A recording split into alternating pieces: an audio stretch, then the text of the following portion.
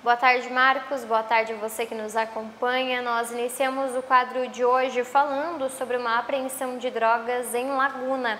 A ocorrência foi registrada ainda no domingo durante uma varredura no Morro da Glória.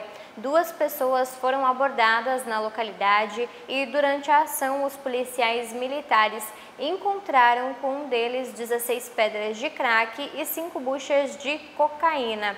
A mulher foi liberada já que não tinha drogas, mas o suspeito né, que portava ali os entorpecentes foi detido e levado até a delegacia de polícia civil. Ainda em Laguna, a Polícia Militar cumpriu dois mandados de prisão no município. O primeiro deles foi no bairro Progresso, quando um homem foi abordado em um terreno na rua Musicista Júlio Barreto. Durante a busca no sistema, os policiais confirmaram o mandado de prisão aberto expedido pela comarca de Laguna. Já o segundo homem foi preso no bairro Nova Fazenda durante o atendimento de uma ocorrência no local. Os militares confirmaram o mandato ativo e encaminharam o suspeito então até o presídio de Laguna. E aqui em Tubarão, a DIC investigou um suposto roubo que teria ocorrido em 20 de novembro, mas que na verdade pode não passar de uma falsa comunicação de crime.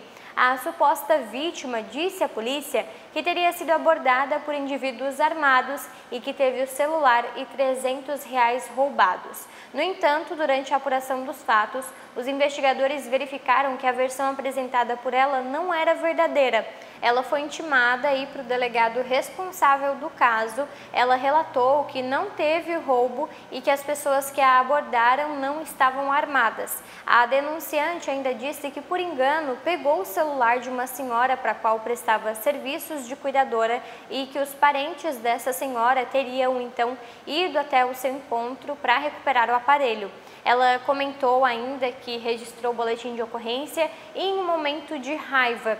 Por conta disso, a denunciante foi submetida a um termo circunstanciado pelo crime de falsa comunicação de delito e depois o procedimento então será encaminhado ao Ministério Público de Santa Catarina.